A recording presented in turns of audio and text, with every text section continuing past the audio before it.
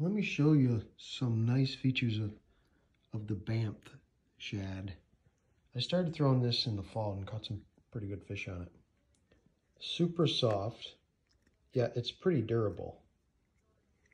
It's got a nice little slit in there for your six-aught owner hook, realistic eyes, little slot up there where your hook sits, and that thing kicks really nice with that boot tail.